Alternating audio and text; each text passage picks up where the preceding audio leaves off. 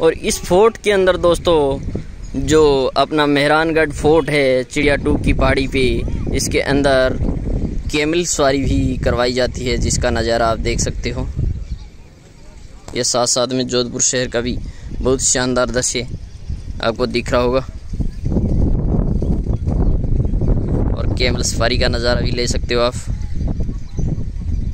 यहाँ पे केवल सफारी का नज़ारा भी आपको देखने को मिल रहा है। बहुत ही शानदार दृश्य है और पहाड़ी के ऊपर ऐसा मनोरम, अति सुंदर दृश्य है। देखना। बहुत ही शानदार ये फोर्ट। जोधपुर का बहुत ही शानदार और दर्शनीय फोर्ट।